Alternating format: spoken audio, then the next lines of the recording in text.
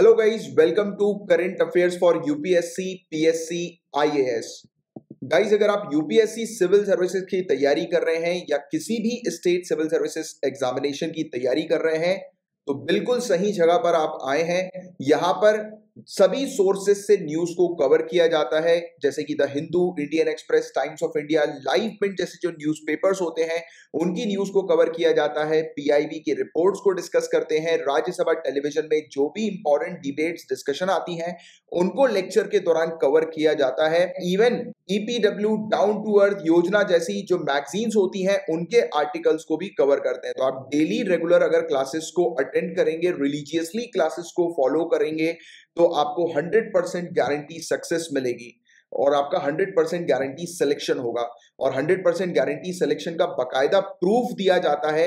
नीचे डिस्क्रिप्शन पर आपको प्रूफ्स मिल जाएँगे। आप चेक कर सकते हैं कि previous year civil services examination में हमने जो टॉपिक्स कवर कराए थे, उन्हीं से रिलेटेड क्वेश्चंस बने हैं। तो फटाफट चैनल को सब्सक्राइब कर लीजिए। अगर आपने सब्सक्राइब नहीं किया है तो इवन हम लोग काफ़ी सारे हाई क्वालिटी जनरल स्टडीज़ के कोर्सेज भी ऑफ़र करते हैं तो आने वाली स्लाइड्स में आपको कोर्सेज की डिटेल्स भी मिल जाएगी और हमारे दूसरे चैनल्स की इंफॉर्मेशन भी आपको प्रोवाइड करा, करा दी जाएगी आने वाले स्लाइड्स में। और गाइज़ नीचे डिस्क्रिप्शन पर टेलीग्राम के चैनल की लिंक भी आपको मिल जाएगी आप उस चैनल को भी ज्वाइन कर सकते हैं प्लस डिस्कशन ग्रुप भी है जहाँ पर काफ़ी सारे सिविल सर्विसेज़ के एस्पिरेंट्स मौजूद हैं जो कि डेली बेसिस पर अपने जो भी डाउट्स वगैरह जो होते हैं उनको डिस्कस करते हैं। तो आप उसको ज्वाइन कर सकते हैं। तो फुल फोकस के साथ स्टार्ट करते हैं करेंट अफेयर्स की क्लास को बट बिफोर दैट ये कुछ कोर्सेज की डिटेल्स और हमारे चैनल्स की डिटेल्स हैं।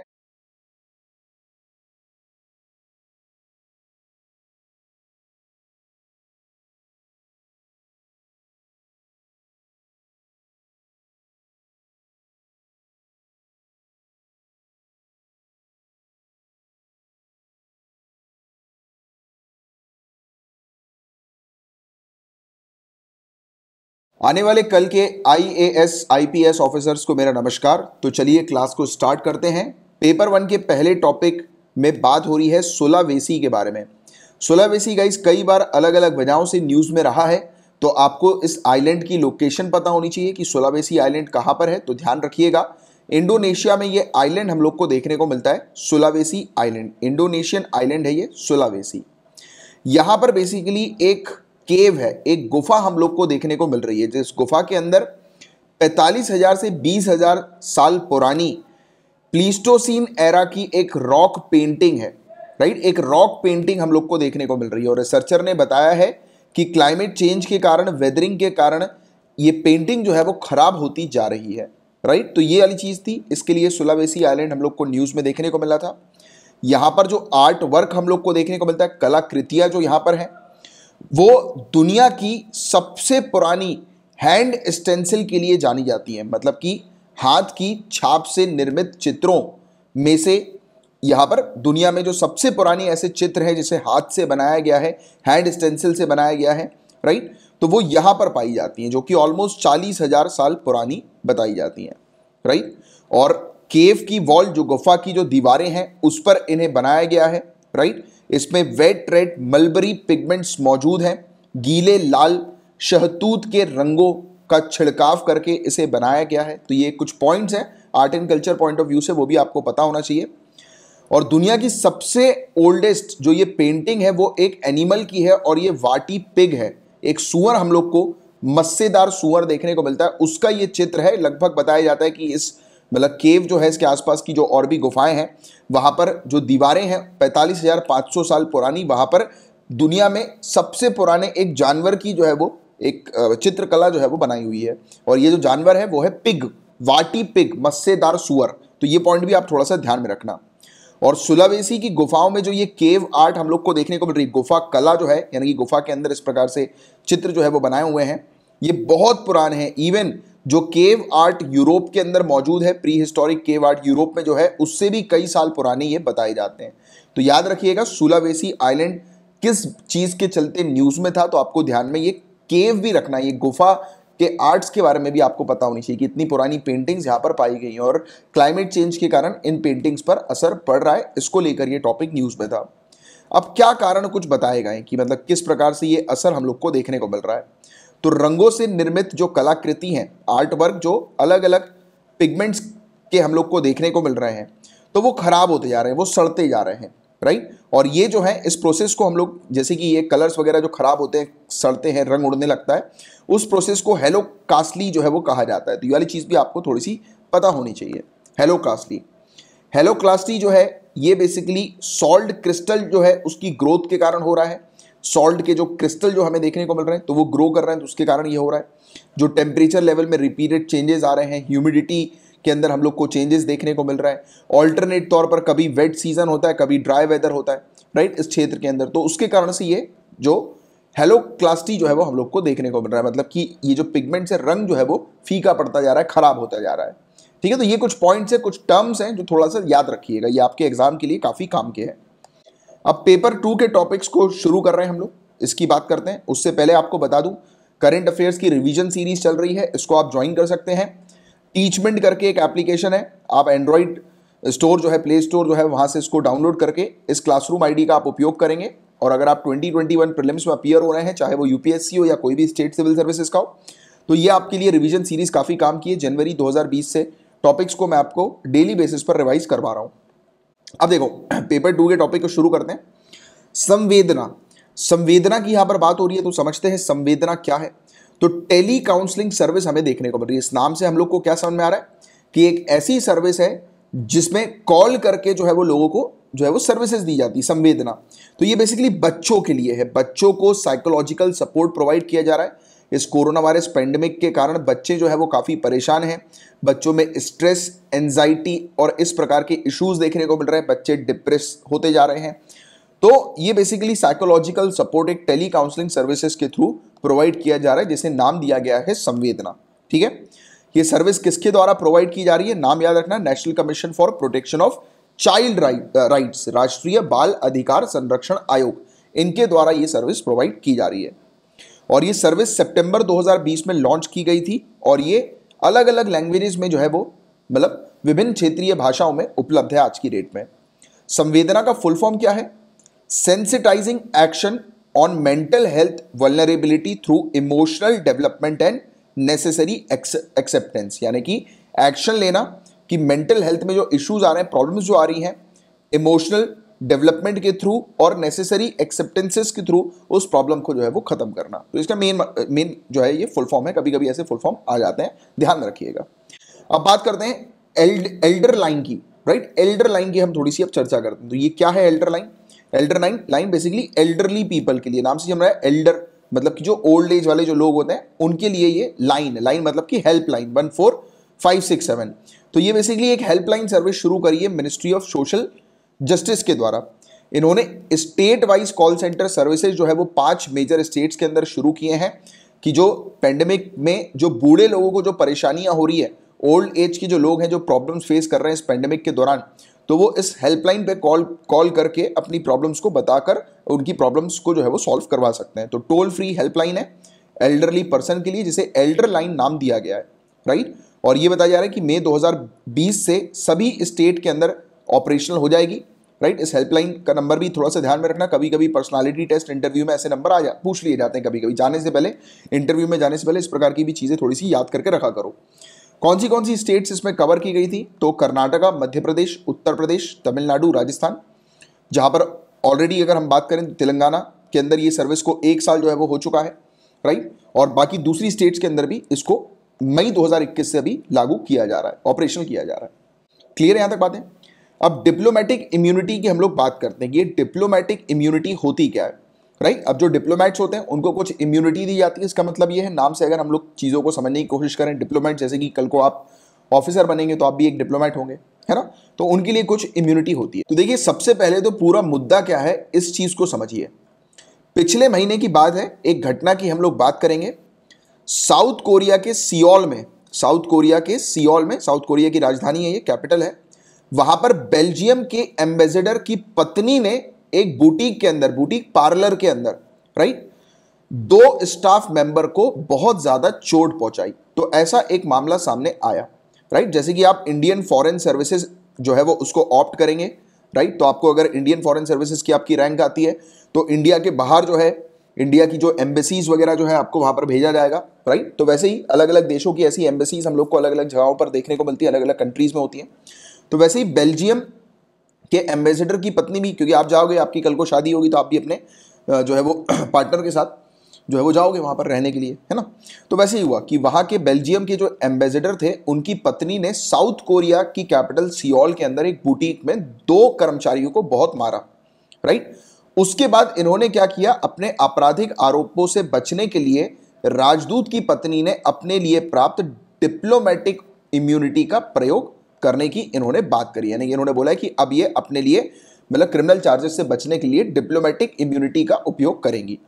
तो कहीं ना कहीं डिप्लोमेटिक इम्यूनिटी क्या होती है? एक चीज़ तो आपको समझ में आई कि अगर किसी भी पर्टिकुलर जो फॉरेन एम्बेसडर्स वगैरह जो होते हैं तो उनके खिलाफ अगर कोई भी कार्रवाई होनी होती है तो फिर वो उनको, उनकी नहीं होती है उनको डिप्लोमेटिक इम्यूनिटी जो है वो इस प्रकार से मिल जाती है। तो इसी पर ही थोड़ी सी अपन डिटेल में बात करने वाले क्योंकि एक मुद्दा हुआ है इस प्रकार का क्रिमिनल राइट केस हमें देखने को मिला है।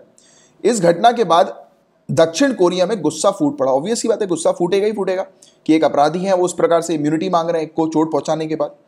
और राजनयिकों और उनके परिवारों के सदस्य को प्रदान की जाने वाली सुरक्षा की सीमा पर बहस चढ़ गई। ऑब्वियस ही बात है कि इस प्रकार से डिप्लोमेट्स को और उनके फैमिली मेंबर्स को अगर ऐसा प्रोटेक्शन मिलता है, ऐसी इम्यूनिटी मिलती है तो कहीं ना कहीं वो तो खतरनाक है दूसरे लोगों के लिए। है कि नहीं? मतलब समझने वाली बात है, आप एक सिविल सर्वेंट की बनने की तैयारी कर रहे हो तो आपको थोड़ा समझना पड़ेगा इस बात को राइट तो डिप्लोमेटिक इम्यूनिटी होती क्या है एक्चुअली तो ये कुछ प्रिवलेजेस होते हैं, जिसमें कुछ कानून और कुछ टैक्सेस से छूट जो है वो मिल जाती है डिप्लोमेट्स को, जो भी डिप्लोमेट्स उस कंट्री के अंदर पोस्टेड होते हैं तो उनको कुछ टैक्सेस वगैरह नहीं भरने होते और कुछ कानून वगैरह से भी उनको छूट मिल जाती है। कस्टम जो है, वो इस प्रकार से बनाया गया कि डिप्लोमेट जो है वो बिना किसी डर के वहाँ पर रह सकते हैं राइट क्योंकि होता है ना, जैसे कि हमारे डिप्लोमेट्स कल को आप इंडियन फॉरेन सर्विसेज़ में तैनात हो, आपको जो है अफ़गानिस्तान भेज दिया जाए या फिर पाकिस्तान भेज दिया जाए तो कहीं ना कहीं डर रहता है ना कि अरे यार, कोई अटैक ना कर दे राइट और उसके सेल्फ डिफेंस पे फिर आप काम करते हो। तो इस प्रकार की छूट जो है वो दी जाती है डिप्लोमेट्स को, और इसी प्रकार का एक कस्टम जो है वो बन चुका है, परंपरा जो है वो बन चुकी है। जिससे कि एक जो डिप्लोमेट अगर वहाँ पर तैनात है तो उनको किसी चीज़ का डर नहीं होना चाहिए कि वो कंट्री जो है वो उनके खिलाफ कोई चार्जेस वगैरह लगा देगी, ऐसा कुछ उन्हें डर नहीं होना चाहिए। तो डिप्लोमेटिक इम्यूनिटी जो है वो ग्रांट की जाती है दो कन्वेंशन के आधार पर। अब इससे रिलेटेड डिप्लोमेटिक कम्युनिटी से रिलेटेड दो कन्वेंशन कौन से कौन से, अगर इस प्रकार का क्वेश्चन आता है तो आपको वियना कन्वेंशन ध्यान रखना है। कन्वेंशन ऑन डिप्लोमेटिक रिलेशन 1961 ये वियना कन्वेंशन है जो डिप्लोमेट्स को कुछ पर्टिकुलर कानून और टैक्सेस से एग्जिबिशन प्रोवाइड कराता है। और दूसरा ये कन्वेंशन है कन्वेंशन ऑन कंस्यूलर रिलेशंस 1963 इन कन्वेंशन को 187 कंट्रीज़ ने लागू किया है रेक्टिफाई किया है। इसका मतलब यह है कि उन कंट्रीज़ के अंदर ये ये दोनों एग्रीमेंट जो है, उनको प्रायोरिटी दी जाएगी और कंट्री के लीगल फ्रेमवर्क के अंडर इन एग्रीमेंट्स को शामिल किया जाएगा और इनको कभी भी कंट्रीज़ ये वॉयलेट नहीं करेंगी। सवाल ये उठता है कि किस एक्सटेंट तक ये इम्यूनिटी दी जाती है, यानी कि इन इम्यूनिटी की क्या सीमा है? तो Vienna convention on diplomatic relation 1961 के अकॉर्डिंग डिप्लोमेट जो भी पोस्टेड होते हैं एम्बेसी के अंदर, वो इंजॉय करते हैं ये वाली इम्यूनिटी को राइट और उनको, उनकी इम्यूनिटी को जो है वो छीन नहीं सकता कोई, और डिप्लोमेट्स को अरेस्ट नहीं किया जा सकता, ना उन्हें बंदी बनाया जा सकता है राइट यानी कि सेल में बंद किया जा सकता है। इवन उनके घर को भी वैसे ही प्रोटेक्शन देनी है, जैसे कि उन्हें एम्बेसी में प्रोटेक्शन दी जाती है।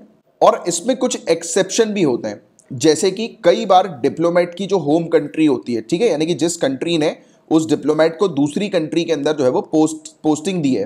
तो उसकी जो ये होम कंट्री हमें देखने को मिलेगी, ये उसकी इम्यूनिटी को हटा सकती है, छीन सकती है।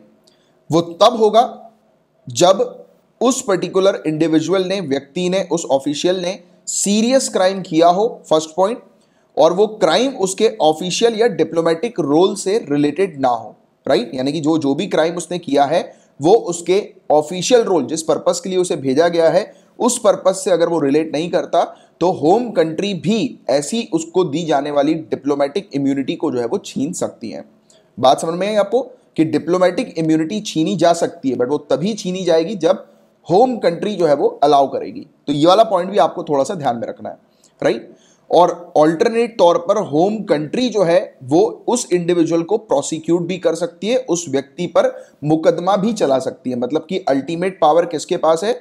उस कंट्री के पास, जिस कंट्री ने होम कंट्री ने उस पर्टिकुलर ऑफिशियल को तैनात किया है, दूसरी कंट्री के अंदर एम्बेसी में उसको पोस्टिंग दी है। राइट जैसे कि इंडियन फॉरेन सर्विसेज़ आपको जब मिलेगा, या जैसे कि काफ़ी सारे लोगों का ड्रीम होता है इंडियन फॉरेन फॉरेन सर्विसेज़ पे जाना तो आपको इसके बारे में बहुत अच्छे से पता होना चाहिए। नियमों के बारे में अच्छी जानकारी होनी चाहिए। इवन सिविल सर्विसेज़ की आप तैयारी कर रहे हो, ये नियम तो पता होना चाहिए, क्योंकि उसमें भी ये पोस्ट हम लोग को इंडियन फॉरेन सर्विसेज़ की देखने को मिलती है। तो इसलिए ये टॉपिक बहुत इंपॉर्टेंट है। अब देखो, इसमें चिंता वाली बात क्या होती है गाइस तो देखो डिप्लोमेटिक इम्यूनिटी ये तो एक पर्टिकुलर इंडिविजुअल को ऑफिशियल को इसलिए प्रोवाइड की जाती है कि उसको किसी भी प्रकार का डर ना हो या उसको किसी भी प्रकार से नुकसान ना हो किसी चीज़ का, उस कंट्री के अंदर जहाँ पर वो पोस्टेड है।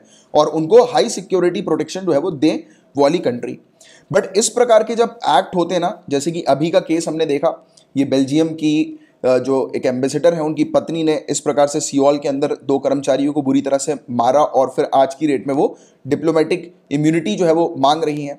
तो इस प्रकार का जब हम केस देखते हैं और उस केस में साम, सामने वाले व्यक्ति के ऊपर अगर कोई कार्रवाई नहीं होती यानी कि उस डिप्लोमेट के परिजन के ऊपर या उसके ऊपर कोई कार्रवाई नहीं होती तो वो आपस में दो कंट्रीज़ के बीच के रिलेशन को खराब करता है यानी कि होम कंट्री के बीच में और उस कंट्री के बीच में, जिस कंट्री में वो डिप्लोमेट ने इस प्रकार की कार्रवाई करी है, इस प्रकार का एक्ट किया है।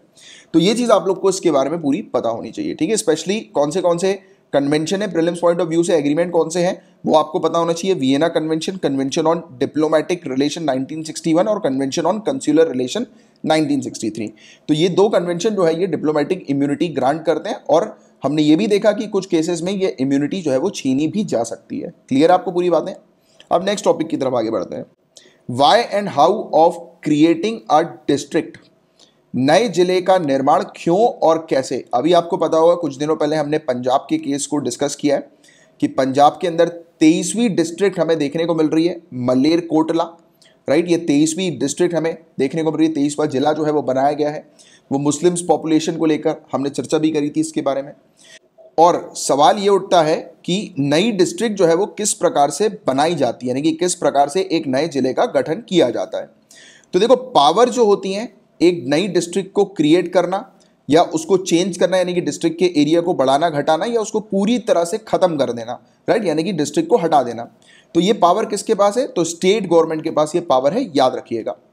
स्टेट गवर्नमेंट क्या कर सकती है गाइस एक कानून को पास करके, यानी कि स्टेट असेंबली के अंदर राज्य विधानसभा में कोई कानून को पारित करके, किसी कानून को पास करके, या फिर किसी एग्जीक्यूटिव ऑर्डर के थ्रू जो है, ये प्रक्रिया शुरू करती है स्टेट गवर्नमेंट एग्जीक्यूटिव ऑर्डर के थ्रू और काफ़ी सारी राज्यों में हम लोग को यही देखने को मिलता है कि एग्जीक्यूटिव रूट जो है, उसको प्रेफर प्रेफर किया जाता है।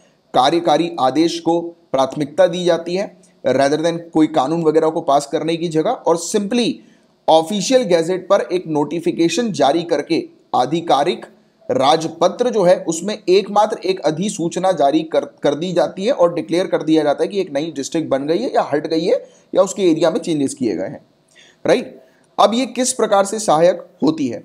तो देखो स्टेट्स आर्ग्यू करते हैं, राज्यों का तर्क है कि स्मॉलर डिस्ट्रिक्ट जो होती हैं, वो बेटर एडमिनिस्ट्रेशन और गवर्नेंस के लिए अच्छी होती है। राइट क्या, यानी कि स्मॉलर डिस्ट्रिक्ट छोटी डिस्ट्रिक्ट पर कंट्रोल करना एडमिनिस्टर करना रेगुलेट करना, वो थोड़ा सा आसान हम लोग को देखने को मिलता है। फॉर एग्ज़ाम्पल 2016 में आसाम सरकार ने इशू किया था एक नोटिफिकेशन और अपग्रेड किया था मजूली सब डिवीज़न को मजूली डिस्ट्रिक्ट में राइट एडमिनिस्ट्रेटिव एक्सपीडेंसी के लिए राइट प्रशासनिक सुविधा के लिए।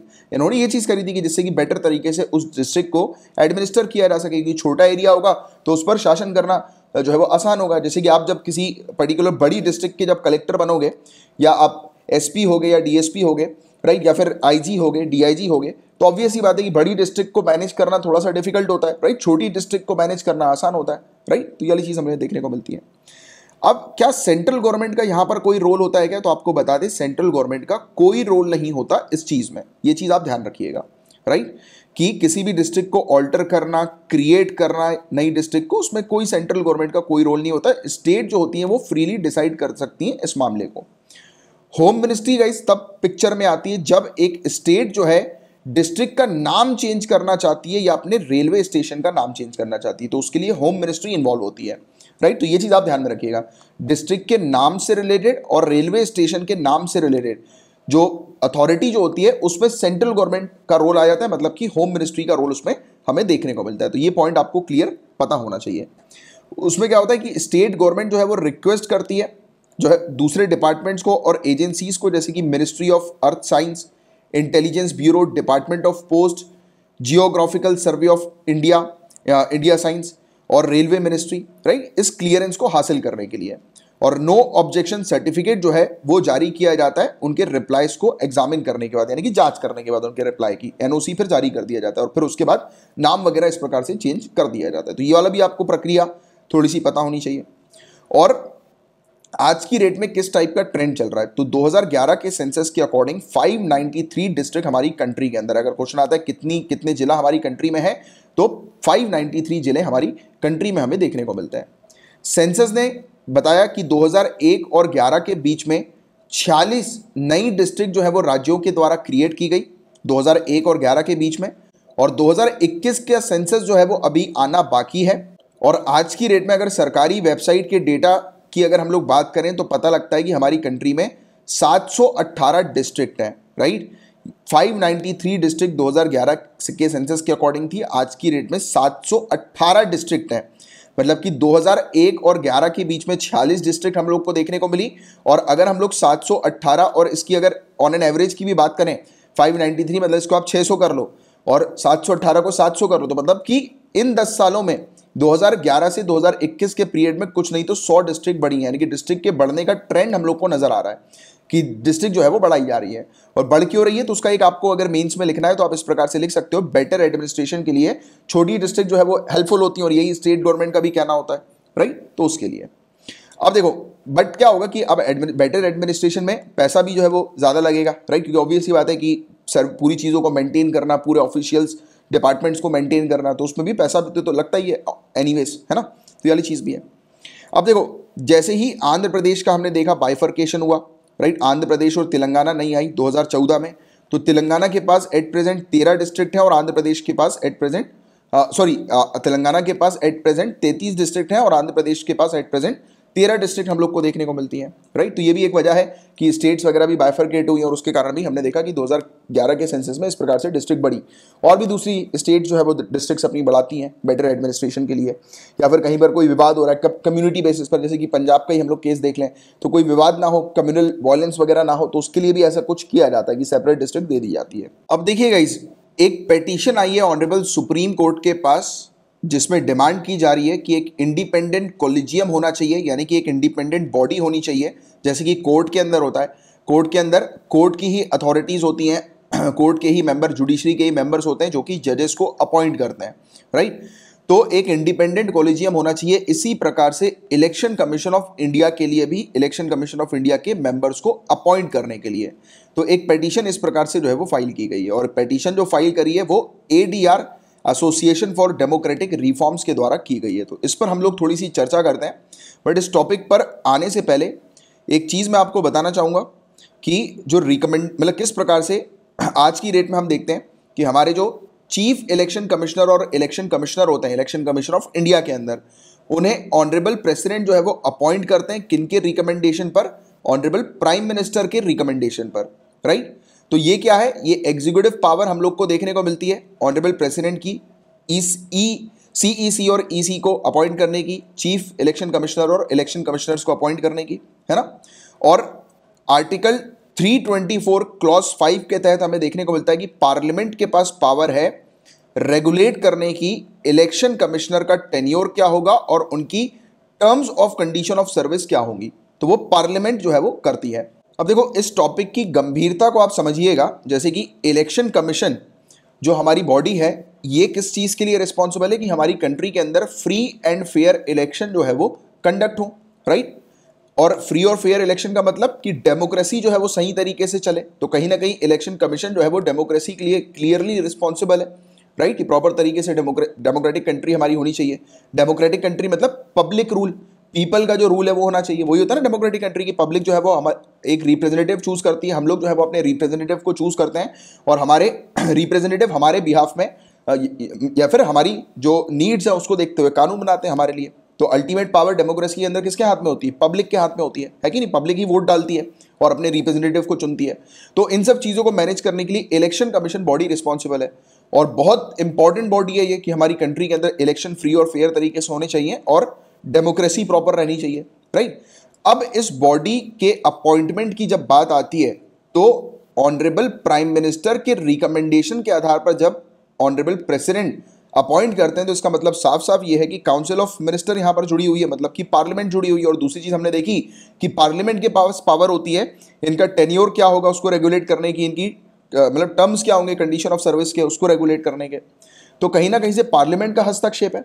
और पार्लियामेंट का हस्तक्षेप अगर इस प्रकार की इंडिपेंडेंट बॉडी पर होगा तो कहीं ना कहीं से डेमोक्रेसी पर खतरा है राइट जैसे कि आज की डेट में, जैसे कि मैं किसी के ऊपर आरोप नहीं लगा रहा हूँ बट आपने न्यूज़ भी सुनी होगी ये वाली राइट इसको थोड़ा सा सोचना इस बात पे कि आज की डेट में जब कहा जाता है कि हमें हमें देखने को मिल रहा है कि इलेक्शन जो हो रहे हैं वो ठीक तरीके से नहीं हो रहे हैं राइट जैसे कि ईवीएम e मशीन की अगर हम लोग बात करें इलेक्ट्रॉनिक वोटिंग मशीन की अगर हम लोग बात करें तो इसमें हम लोग क्या देखते हैं कि इसमें घोटाला है, इसमें लोचा है प्रॉपर रिज़ल्ट जो है वो दिखा नहीं दिखाई नहीं जा रहा है, लोचा हो रहा है। तो ऐसी ऐसी खबरें हम सुनते हैं सुनते हैं कि नहीं सुनते हैं? और सुनी भी हमने। तो कहीं ना कहीं पब्लिक के माइंड पर जो है वो डाउट आ जाता है इस प्रोसेस को लेकर राइट और फिर जब हम देखते हैं कि रिकमेंडेशन जो दिया जाता है वो प्राइम मिनिस्टर के द्वारा दिया जाता है इलेक्शन कमिश्नर कमिश्नर्स को और चीफ इलेक्शन कमिश्नर को अपॉइंट करने के लिए राइट तो कहीं ना कहीं पार्लियामेंट जो है वो अपने फेवर में या फिर कोई पर्टिकुलर पॉलिटी पॉलिटिकल पार्टी या कोई political leader powerful political leader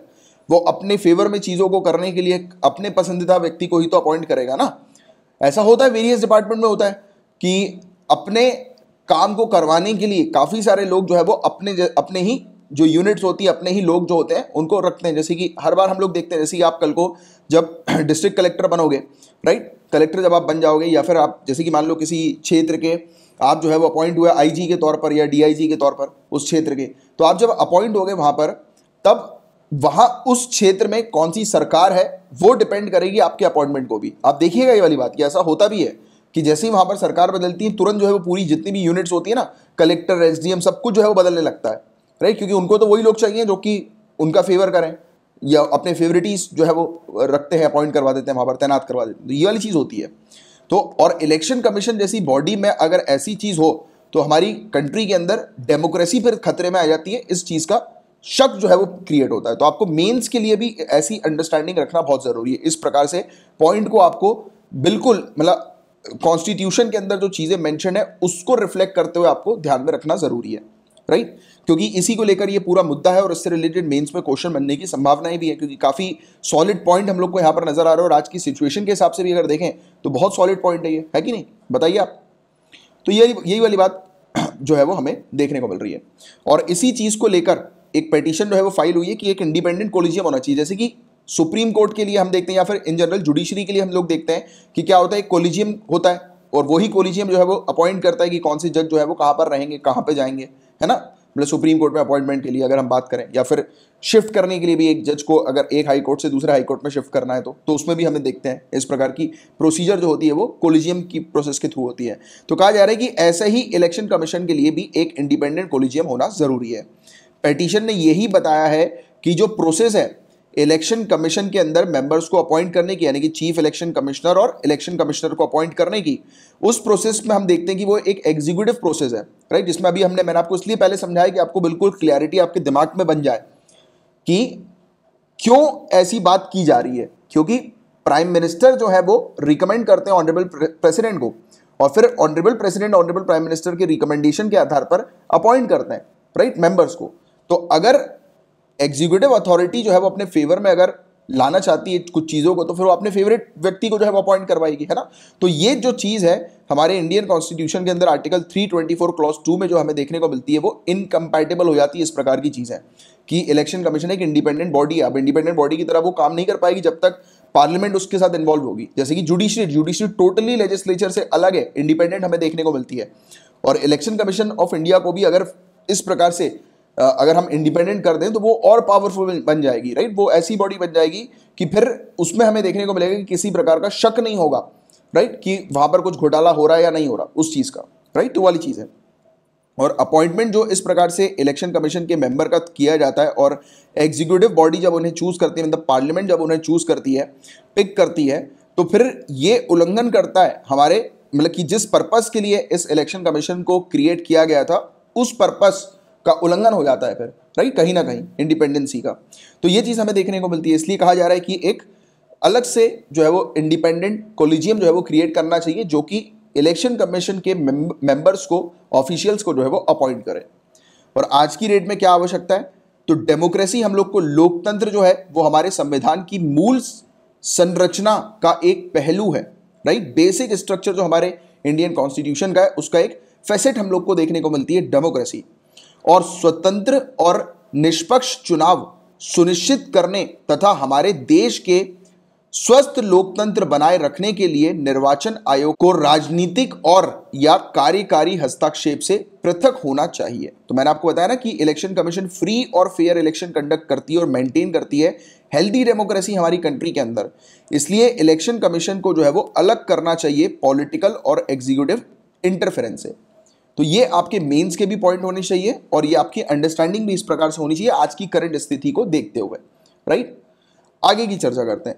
various particular expert committees का भी रिकमेंडेशन जान लेते हैं। जैसे कि two fifty fifth law commission की एक रिपोर्ट थी जिसने रिकमेंड किया था कि जो अपॉइंटमेंट होना चाहिए इलेक्शन कमिश्नर का, जो ऑनरेबल प्रेसिडेंट के द्वारा किया जाता है तो ऑनरेबल प्रेसिडेंट तीन मेंबर का एक कॉलेजियम जो है वो तैयार करें या सिलेक्शन कमेटी जो है वो तैयार करें। जिसमें ऑनरेबल प्रेसिडेंट हो leader of opposition of Lok Sabha हो और honourable chief justice of India हो। तो ये तीन मेंबर्स हो और ये तीन मेंबर जो है वो डिसाइड करें रिकमेंड करें नाम हमारे ऑनरेबल प्रेसिडेंट को। Rather than council of minister क्योंकि काउंसिल ऑफ़ मिनिस्टर ही ऑनरेबल प्राइम मिनिस्टर को, फिर ऑनरेबल प्राइम मिनिस्टर कन्वे करते हैं ऑनरेबल प्रेसिडेंट को कि किस व्यक्ति को जो है वो रखना है एज अ इलेक्शन कमिश्नर के तौर पर। तो उसके लिए ये इस प्रकार से होना चाहिए। तीन मेंबर का कोलिजियम होना चाहिए और ये two fifty fifth law commission की रिपोर्ट के अंदर भी इस चीज़ को रिकमेंड किया गया था। तो ये वाला पॉइंट भी आप मेंशन कर सकते हैं। फोर्थ रिपोर्ट सबमिट की, करी थी सेकेंड एडमिनिस्ट्रेटिव रिफॉर्म कमीशन के द्वारा जनवरी 2007 में एआरसी हम लोग को देखने को मिलती है और आपके लिए तो एआरसी भी पढ़ना बहुत ज़रूरी है। तो उसकी फोर्थ रिपोर्ट जब सबमिट की गई थी तो उसमें भी रिकमेंड किया गया था कि एक न्यूट्रल और इंडिपेंडेंट कोलिजियम बनाना चाहिए, जिसके हेड होंगे honourable prime minister right speaker होंगे लोकसभा के लीडर ऑफ़ अपोजिशन होंगे लोकसभा के, लॉ मिनिस्टर होंगे, डेप्यूटी चेयरमैन होंगे राज्यसभा के, उसके मेंबर के तौर पर। यानी कि ऐसी बॉडीज होनी चाहिए जिससे कि एक न्यूट्रल बॉडी बन सके राइट रिकमेंड करने की कि कौन होंगे? इलेक्शन कमीशन मतलब चीफ इलेक्शन कमिश्नर या इलेक्शन कमिश्नर क्योंकि देखो लीडर ऑफ़ अपोजिशन होंगे और जो रूलिंग पार्टी है, उसकी लीडर मतलब कि ऑनरेबल प्राइम मिनिस्टर होंगे तो ऑब्वियस ही बात है कि किसी प्रकार का जो है, वो डर जो है कि कौन अपने फेवर पर डिसीज़न ला सकता है, वो खत्म हो जाएगा। डॉक्टर दिनेश गोस्वामी कमेटी, इसकी रिपोर्ट आई थी मई 1990 में। इसने भी रिकमेंड किया था कि इफ़ेक्टिव कंसल्टेशन न्यूट्रल करने के लिए चीफ जस्टिस ऑफ़ इंडिया जैसी अथॉरिटी का होना ज़रूरी है लीडर ऑफ़ अपोजिशन का होना ज़रूरी है इलेक्शन कमीशन को, के अपॉइंटमेंट के लिए। यानी कि प्राइम मिनिस्टर तो हो ही हो बट उस पर्टिकुलर मेंबर्स की बॉडी में यानी कि जो भी बॉडी बन रही है, जो अपॉइंट करती है या रिकमेंड करती है नाम कि किसको जो है वो मेंबर बनना चाहिए ईसीआई e का तो उसमें लीडर ऑफ़ अपोजिशन और चीफ जस्टिस का होना बहुत ज़रूरी है हमारे इंडिया के। अब जस्टिस तारकुंडे कमेटी इन, इनकी रिपोर्ट आई थी, वो 1975 में उसने रिकमेंड किया था कि मेंबर जो होते हैं इलेक्शन कमीशन के, उनको अपॉइंट करेंगे ऑनरेबल प्रेसिडेंट एक कमेटी की एडवाइस के ऊपर और कमेटी के अंदर honourable prime minister leader of opposition in Lok Sabha और चीफ जस्टिस ऑफ़ इंडिया होना ज़रूरी है। तो देखो, ये वाली चीज़ आप थोड़ी सी याद रखो कि इस प्रकार की अगर बॉडी बनती है, जो कि न्यूट्रल हो सके, और न्यूट्रल कब हो पाएगी? जब उसमें लीडर ऑफ़ अपोजिशन भी होंगे और जुडिशरी की तरफ़ से भी एक मेंबर होंगे, तब जाकर हमें देखने को मिलेगा कि एक न्यूट्रल बॉडी होगी और वो रिकमेंड करेगी ऑनरेबल प्रेसिडेंट को। और प्रेजेंट सिस्टम क्या है अपॉइंटमेंट का? तो वो मैंने आपको ऑलरेडी बता ही दिया। कि कॉन्स्टिट्यूशनल वर्सेस एग्जीक्यूटिव पावर का हम लोग को अपॉइंटमेंट देखने को मिलता है। तो कहीं पर भी हालाँकि वैसे तो प्रोसीजर लिखा हुआ नहीं है कि चीफ कमिश्नर और इलेक्शन कमिश्नर को किस प्रकार से अपॉइंट किया जाएगा कॉन्स्टिट्यूशन के अंदर बट इनका जो अपॉइंटमेंट होता है वो प्रेसिडेंट करते हैं, जैसा मैंने आपको आज के करंट सिनारियों के हिसाब से बताया। तो ये पॉइंट्स आपके बिल्कुल अच्छे से क्लियर होने चाहिए राइट चलो, अब आगे बढ़ते हैं नेक्स्ट टॉपिक पर। वेस्ट बंगाल की जो सरकार है, वो एक लेजिस्लेटिव काउंसिल जो है वो सेटअप करने के लिए काम कर रही है। देखो, एक लेजिस्लेटिव असेंबली होती है और दूसरी लेजिस्लेटिव काउंसिल हम लोग को देखने को मिलती है स्टेट के अंदर राइट बाई कैबरलिज्म जिसको हम लोग बोलते हैं।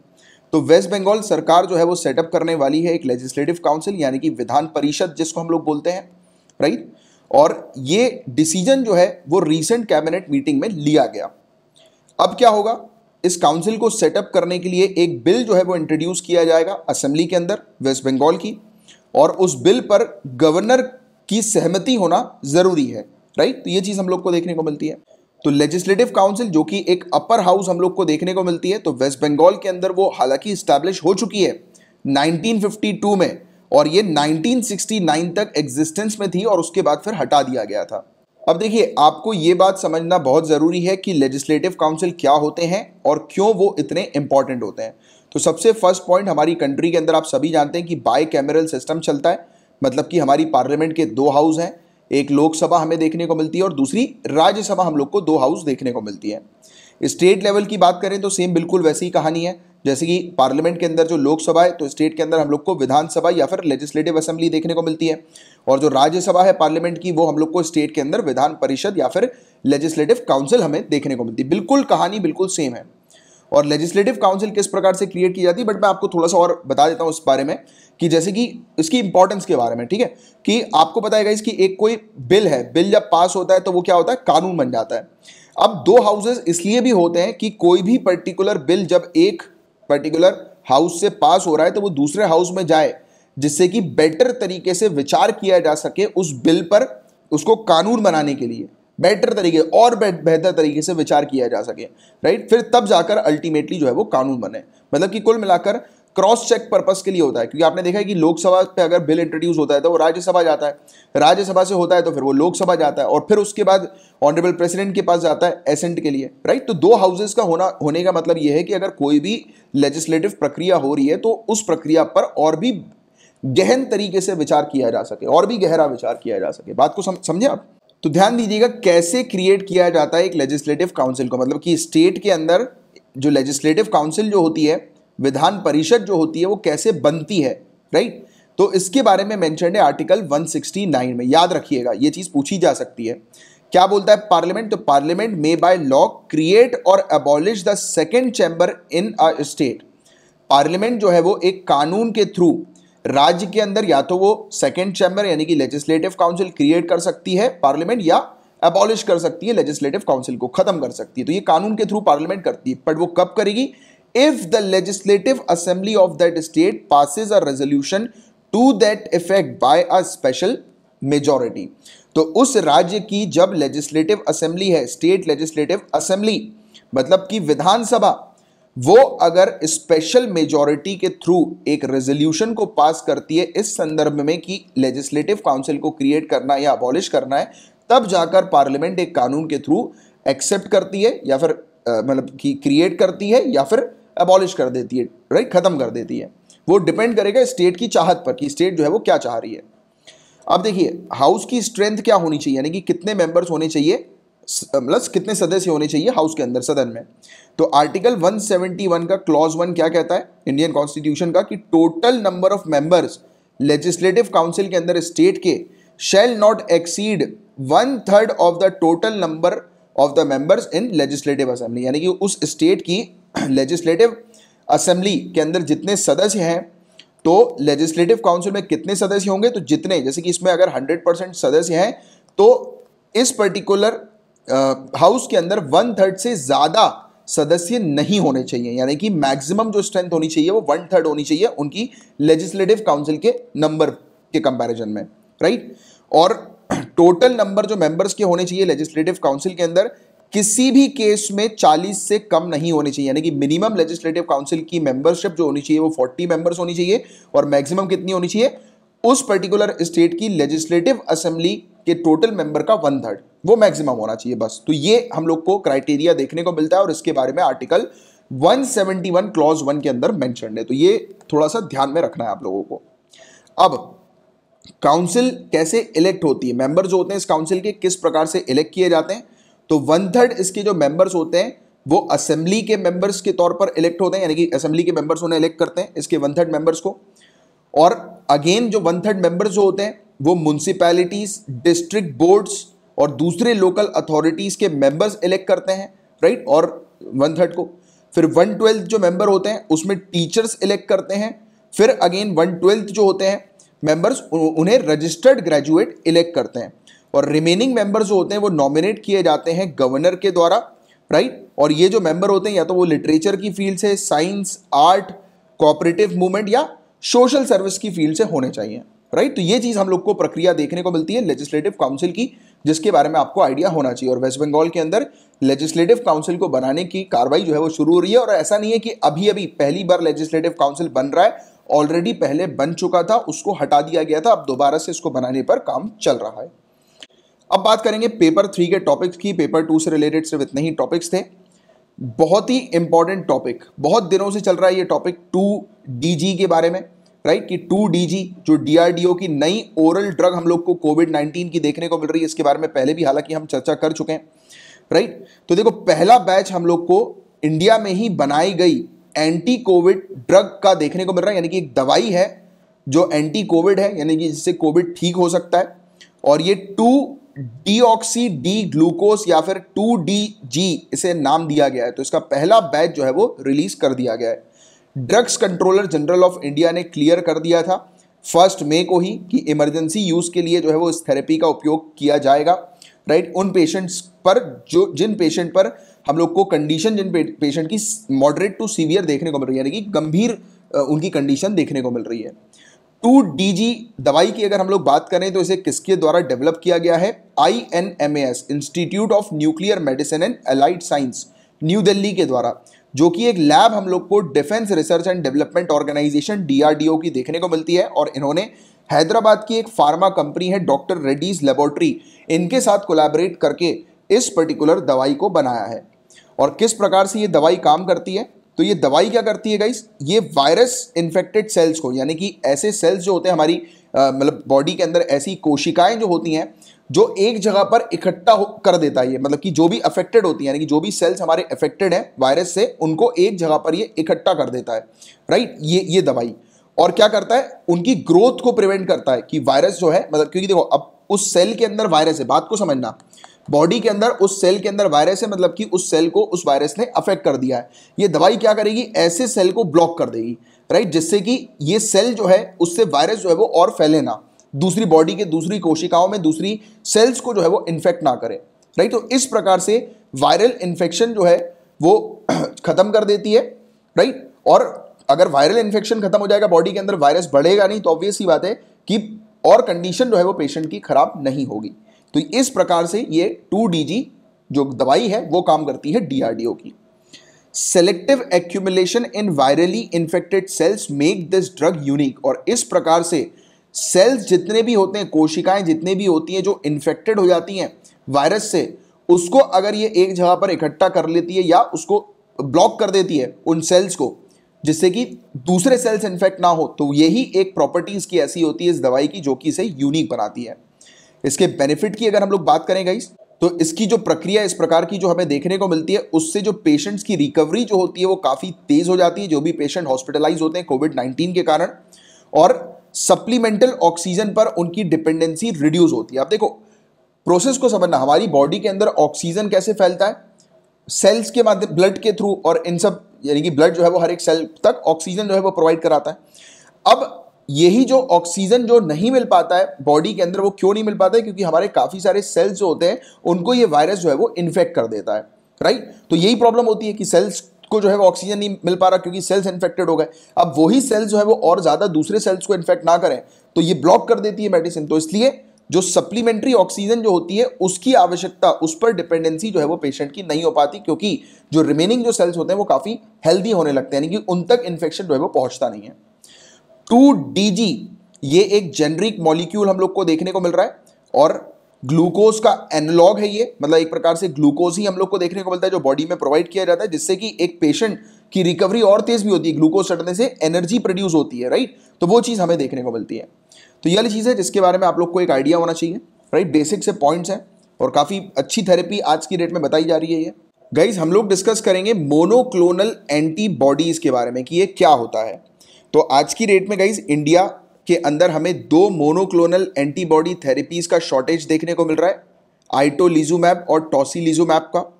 और हम लोग एंटीबॉडीज के बारे में मोनोक्लोनल एंटीबॉडी के बारे में समझेंगे। बट उससे पहले एंटीबॉडी क्या होता है, ये बात आपको पता होगी शायद अभी तक, मैं कई बार आपको एक्सप्लेन कर चुका हूँ। सिंपल शब्दों में अगर मैं आपको एक्सप्लेन करूँ फिर से कि एंटीबॉडीज क्या होता है तो उसको इस तरीके से समझिए कि हमारी जो ह्यूमन की जो बॉडी होती है उसमें कुछ डिफेंसिव मैकेनिज्म होते हैं। मतलब कि आप ये समझ सकते हो कि हमारी बॉडी के अंदर कुछ ऐसे सिपाही होते हैं जो कि जैसे ही बॉडी के अंदर कोई भी वायरस एंटर करता है या बैक्टीरिया एंटर करता है तो तुरंत उसको अटैक करने के लिए रिलीज़ हो जाता है। यानी कि हमारा जो इम्यून सिस्टम हमारी बॉडी का जो होता है, वो एंटीबॉडीज को रिलीज़ कर देता है। और ये जो एंटीबॉडीज होती हैं, ये जितने भी एक्सटर्नल चीज़ें बॉडी के अंदर आती हैं तो उन पर ये अटैक कर देती हैं। और ऐसे हमारी बॉडी को जो है वो एक्सटर्नल चीज़ों से जो है, जैसे वायरस है बैक्टीरिया है, उससे बचाती हैं।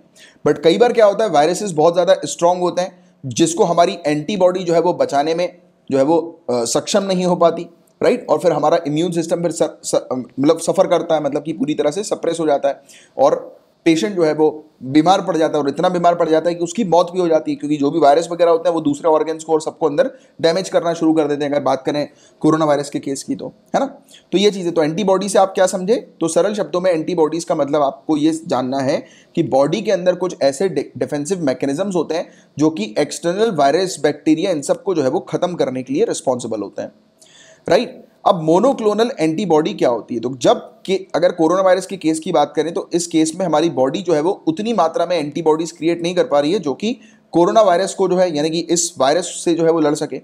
तो आर्टिफिशियली क्रिएट की जाती हैं एंटीबॉडीज बॉडी के अंदर राइट यानी कि ये आर्टिफिशियली क्रिएट की जाती हैं। और एम ये होता है कि बॉडी के नेचुरल इम्यून सिस्टम को बूस्ट कर दो, जिससे कि बॉडी जो है वो और मात्रा में एंटीबॉडीज प्रोड्यूस करना शुरू कर दे और उस वायरस के ऊपर हावी हो जाए, पूरी तरह से। राइट? और ये टारगेट करते हैं स्पेसिफिक एंटीजन को, राइट? जो कि एक प्रोटीन हम लोग को पैथोजन का देखने को मिलता है, जो कि इम्यून सिस्टम को जो है वो स्ट्रांग बनाता है, राइट? मतलब यानी कि उसको इम्यून सिस्टम एंटीबॉडीज जो है वो और रिलीज़ कर सके, उस लायक इसे बनाता है। तो देखो, ये मोनोक्लोनल एंटीबॉडी क्रिएट कैसे होती हैं? तो देखो, ये प्रयोगशालाओं में होती हैं लैब्स के अंदर इन्हें क्रिएट किया जाता है, जो हमारे व्हाइट ब्लड सेल जो होते हैं, जैसे हम लोग श्वेत रक्त कोशिकाएँ हम लोग बोलते हैं तो उनको एक विशेष एंटीजन के संपर्क में लाने पर मोनोक्लोनल एंटीबॉडीज का निर्माण किया जा सकता है।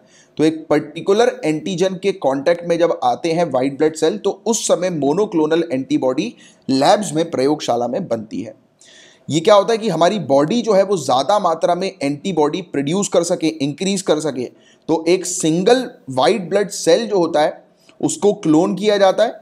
और फिर वो हमें देखने को मिलता है कि आइडेंटिटिकल कॉपीज जो है वो एंटीबॉडीज की क्रिएट कर देते हैं मतलब कि मान के इस प्रकार से चलो कि एक गन है बॉडी के अंदर जो कि बहुत सारी गोलियाँ निकाल रही है राइट अब ये गोली जो है वो क्या है? एंटीबॉडीज है। उसकी जगह आप एक और गन इसी प्रकार की रख दोगे तो क्या होगा? ज़्यादा गोलियाँ निकलेंगी राइट तो ये चीज़ इस प्रकार से आप समझने की कोशिश करो। तो ये वही चीज़ है कि व्हाइट ब्लड सेल को जो है वो कुल मिलाकर कहा यह जाता है कि व्हाइट ब्लड सेल ही ऐसे होते हैं जो कि हमारी बॉडी आप ये बात तो जानते होंगे, हमारी बॉडी के प्रोटेक्शन के लिए व्हाइट ब्लड सेल ही रिस्पॉन्सिबल होता है। तो ये क्या करते हैं कि क्वांटिटी जो होती है एंटीबॉडीज की वो ज़्यादा से ज़्यादा प्रोड्यूस करे व्हाइट ब्लड सेल तो एक सिंगल व्हाइट ब्लड सेल का क्लोन जो है वो क्रिएट किया जाता है जिससे कि वो एंटीबॉडीज की आइडेंटिकल कॉपीज जो है वो क्रिएट कर सके, बना सके। बात समझे आप? तो ये वाली चीज़ हमें देखने को मिलती है। कोविड 19 के केस में साइंटिस्ट किस चीज़ पर काम कर रहे हैं? एक स्पाइक प्रोटीन के ऊपर काम कर रहे हैं। सार्स कोव टू वायरस के, राइट? इसके, कोविड वायरस के। और इसी स्पाइक प्रोटीन के चलते ये वायरस जो है वो हमारे सेल के अंदर एंटर कर जाता है। तो हम लोग क्या कर रहे हैं? आप इस प्रकार से समझ सकते हो कि हम लोग क्या कर रहे हैं? साइंटिस्ट जो हैं, जैसे कि कोरोना वायरस जो हमें देखने को मिलता है, इसका जो स्पाइक प्रोटीन है, राइट? कोरोना वायरस की जो अगर आप चित्र को देखें तो क्या कर रहे हैं हम लोग कि हम लोग इस प्रकार की चीज़ें तैयार कर रहे हैं। इस प्रकार के जैसे कि अभी हमने देखा कि मोनोक्लोनल एंटीबॉडी जो है वो तैयार कर रहे हैं, जिससे कि ये वायरस जो है वो इनफेक्टिव हो जाए बॉडी के अंदर। मतलब कि जैसे कि ये इसके ऐसे समझो आप कि इस पर्टिकुलर जो आपको पॉइंटर्स दिखाई दे रहे हैं, नुकीली चीज़ आपको दिखाई दे रही है, इसके माध्यम से ये उसके अंदर सेल के अंदर घुस जाता है। अब हम लोग क्या कर रहे हैं, इसके ऊपर एक टोपी लगा दे रहे हैं, ठीक है? एक टोपी लगा दे रहे हैं या जो है वो उसको बंद कर दे रहे हैं, जिससे कि ये एंटर ही ना कर सके। अब एंटर नहीं कर सकेगा तो डैमेज नहीं करेगा। तो ऐसी प्रक्रिया चल रही है।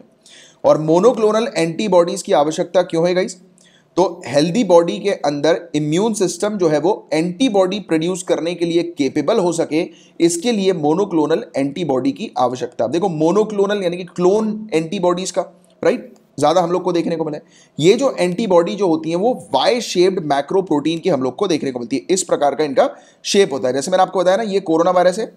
अब ये क्या होगा? इस, इसमें जाकर अटैच हो गई। मतलब कि क्या हुआ? इसकी शक्ति को खत्म कर दिया। मतलब कि ये डंडी जो है, ये वाई जो है, इसने जाकर कोरोना को पकड़ लिया राइट तो वाई शेप माइक्रो प्रोटीन हमारे ब्लड में जो है, वो डाला जाता है इस एंटीबॉडीज के माध्यम से और ये आइडेंटिफाई करती हैं और होल्ड कर देती है माइक्रोब्स को और सिग्नल देती है इम्यून सिस्टम को कि इन माइक्रोब्स को अटैक कर दो। तो ये इस प्रकार की प्रक्रिया हम लोग को देखने को मिलती है। बट मोनोक्लोनल एंटीबॉडी जो होती है, वो साइंटिस्ट के द्वारा डिस्कवर की गई हैं।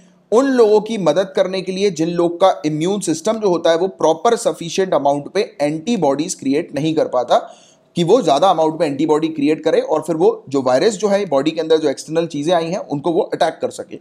अब देखो, इस प्रकार से मोनोक्लोनल एंटीबॉडी की शुरुआत कब हुई? तो इस पर अगर हम थोड़ा सा इतिहास में जाएँ हिस्ट्री को देखें तो किसी बीमारी के इलाज के लिए एंटीबॉडी दिए जाने का विचार 1900 के दशक में प्रचलित हुआ था। 1900 के समय पर इस प्रकार का आइडिया जो है एंटीबॉडीज को बॉडी के अंदर डिलीवर करने का, एक बीमारी को ठीक करने के लिए तो वो उस समय आ गया था जब Nobel prize winner German immunologist Paul Ehrlich, इन्होंने एक आइडिया जाब रक्यूगल जाब रक्यूगल का जो है वो आइडिया प्रपोज किया था, जो कि मैजिक बुलेट है। जैसे मैंने आपको बताया ना कि बॉडी के अंदर एक सिस्टम है जो कि बुलेट फेंक रहा है मतलब कि एंटीबॉडीज फेंक रहा है। वहीं पर आप एक और सिस्टम लिया हो एंटीबॉडीज फेंकने का तो ऑब्वियस ही बात है कि ज़्यादा एंटीबॉडीज प्रोड्यूस होंगी। तो ये मैजिक बुलेट्स का ये लेकर आए थे आइडिया तो ये वाला पॉइंट भी आप थोड़ा सा इनका नाम भी याद रखना प्रिलिम्स में आ सकता है राइट और ये बुलेट जो है वो सेलेक्ट सेलेक्टिवली टारगेट करें पैथोजन को, इसके लिए लाया गया था। तो वाई शेप वाली वो चीज़ जो हमने देखी। राइट? और तब से लेकर आठ डिकेड्स हो चुके हैं, अस्सी साल हम लोग को देखने को मिल चुके हैं इस रिसर्च की और finally muromonab C D three लाई गई और दुनिया की पहली मोनोक्लोनल एंटीबॉडी क्लिनिकल यूज़ के लिए ह्यूमंस के लिए अप्रूव की गई। तो याद रखना, दुनिया की पहली मोनोक्लोनल एंटीबॉडी जो है वो म्यूरो मोनैब सी डी थ्री हमें देखने को मिलती है, राइट? जो कि ह्यूमन यूज़ के लिए अप्रूव कर दी गई। और देखो guys muromonab C D three अगर ये क्वेश्चन आता है कि ये बॉडी के अंदर जो एंटीबॉडीज है, उसको बढ़ाने के लिए काम में ली जाती है ये दवाई तो आपका आंसर होगा नहीं। ये एंटीबॉडी से ही एसोसिएटेड है। जैसा मैंने आपको बताया ना, कि दुनिया की पहली मोनोक्लोनल एंटीबॉडी जो कि क्लिनिकल यूज़ के लिए अप्रूव की गई थी बट ये जो एंटीबॉडी जो थी ना, ये ऐसा नहीं था कि इम्यून सिस्टम को कहेगी कि ज़्यादा एंटीबॉडीज रिलीज़ करे। ये इम्यूनोसप्रेंट ड्रग था। मतलब कि इम्यून सिस्टम जो है, वो एक्टिव ना हो, उसके लिए था। जैसे कि होता है कई केसेस में, जैसे कि जो क्रॉनिक डिज़ीज़ से जो पेशेंट जूझ रहे होते हैं, जैसे कि मुझे भी लगा, मुझे भी इम्यूनो सप्रेंट ड्रग्स जो है वो दिए गए हैं जैसे कि मेरा इम्यून सिस्टम जो है वो सप्रेस हो जाए राइट क्योंकि कुछ होता है कि बॉडी के अंदर, जैसे कि मुझे जो प्रॉब्लम मैं आपको उससे एसोसिएट करके बताता हूँ, हालाँकि आप लोग की दुआ से आज की डेट में मैं पेन फ्री लाइफ जी रहा हूँ, नहीं तो आपको पता ही होगा जो रेगुलर स्टूडेंट है, बहुत सालों तक मैं परेशान रहा अराउंड दस साल तक पेन में था, बहुत बुरे राइट तो मुझे जो है वो ड्रग्स दिए गए, वो इम्यूनो सप्रेंट ड्रग दिए गए, इसलिए मुझे थोड़ा सा डर था कोरोना वायरस में कि कहीं दिक्कत ना हो जाए, मेरी कंडीशन सीवियर ना हो जाए बट आप लोग की जब दुआ साथ है तो कुछ होगा थोड़ा ना मेरे को। तो मेरी जो कंडीशन जो थी गई उसमें जो इम्यून सिस्टम है, वो ही अटैक करता है इंडिविजुअल की बॉडी को। मतलब कि जैसे कि मैं जो पेशेंट हूँ, वो एनकल्यूजिंग स्पॉन्डिलिटिस का पेशेंट हूँ H L A B twenty seven positive हूँ। तो इसमें क्या रहता है कि इसमें मेरा जो इम्यून सिस्टम खुद का है, खुद की बॉडी को ही अटैक करता है। राइट ऐसा इम्यून सिस्टम है। मतलब कि बॉडी से प्यार नहीं करता, उसी को मारता है वो। राइट तो इम्यूनो सप्रेंट ड्रग्स उन पेशेंट्स को दिया जाता है, जिनका इम्यून सिस्टम जो है, वो बहुत ज़्यादा एक्टिव रहता है, उनको सप्रेस करने के लिए दिया जाता है। और ये जो उन पेशेंट्स को भी दिया जाता है, जिनका ऑर्गेन ट्रांसप्लांट वगैरह होता है राइट जिससे कि मैंने आपको क्या बताया, कोई भी चीज़ जब बॉडी के अंदर एंटर होती है एक्सटर्नल तो इम्यून सिस्टम एक्टिव होकर उसको मारने लगता है। तो ये ऑर्गन ट्रांसप्लांट के समय पर क्या होता है कि इम्यून सिस्टम जो है वो अपने ही ऑर्गन्स को डैमेज ना कर दे, इसीलिए इस प्रकार से इम्यूनोसप्रेंट ड्रग जो है वो दिए जाते हैं। तो ये म्यूरो मोनैप सी डी थ्री जो है वो दिया गया था। अब मोनोक्लोनल एंटीबॉडी जो है वो आज की रेट में काफ़ी ज़्यादा कॉमन है। इसका उपयोग इबोला एचआईवी सोराइसिस जैसी परेशानी जो है डिज़ीज़ जो है, बीमारी जो है, उसको ठीक करने के लिए दिया जाता है। इसी के साथ आज का लेक्चर फिनिश होता है और अगर अगाइज आप लोग को पॉलिटी का कोर्स चाहिए तो आप ले सकते हैं। पूरी डिटेल्स यहाँ पर मैंशनड है। इन्वायरमेंट का कोर्स भी आपके लिए अवेलेबल है राइट पूरी ये पॉलिटी और इन्वायरमेंट के कोर्स मेरे द्वारा प्रिपेयर किए गए सोनली और सी सेट का कोर्स आपके लिए अवेलेबल है। ये पूरे कोर्सेज जितने भी मैं दे रहा हूँ वीडियो कोर्सेज हैं, इसके पूरे आपको वो भी मिलते हैं मटेरियल्स भी मिलते हैं। ये पूरे कोर्स जैसे हिस्ट्री का कोर्स है, जिसमें कंप्लीट पूरी हिस्ट्री आपके सिविल सर्विसेज़ के लिए प्रिपेयर की जा रही है। एंशियंट मेडिवल और मॉडर्न इंडियन हिस्ट्री सोशियोलॉजी का ऑप्शनल कोर्स भी अवेलेबल है। आप स्टूडेंट्स का अगर सोशियोलॉजी ऑप्शन है तो इस कोर्स को ज्वाइन कर सकते हैं। इन्होंने एक स्टूडेंट को पढ़ाया था ज़ीरो से, और उन स्टूडेंट की यूपीएससी में रैंक फाइव आई है। तो ऐसी फैकल्टी अपने पास है, जो पढ़ा रही हैं। लाभ उठा सकते हैं आप लोग।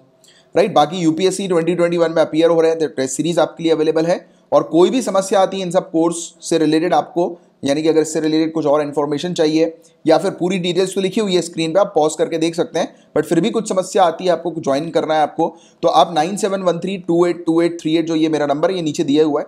राइट तो इस नंबर पर आप मुझे व्हाट्सएप या टेलीग्राम के थ्रू मैसेज कर सकते हैं, मेरा रिप्लाई आपके पास within twenty four hours आ जाएगा। और मात्र हंड्रेड रुपीज़ पर मंथ की फ़ीस में आपको डेली लेक्चर्स की पीडीएफ दी जाती है। आपको हैंड आउट नोट्स दिए जाते हैं। आपको वीकली कंपाइलेशन दिया जाता है रिवीजन के लिए पीडीएफ का और आपको मंथली मैगजीन दी जाती है। इतना सब कुछ मात्र हंड्रेड रुपीज़ पर मंथ की फ़ीस में एक ऑफ़र भी है, जिसको आप चाहें तो ले सकते हैं। और M C Q P D F भी अवेलेबल है मतलब कि जो करंट अफेयर्स जो आती है मंथली, उसके अगर आपको प्रैक्टिस करने के लिए क्वेश्चन चाहिए तो वो सर्विस भी आपके लिए अवेलेबल है। तो चलो गाइस फिर अब मैं मिलूँगा आपसे नेक्स्ट लेक्चर में, तब तक लिए bye take care have a great day ahead tata.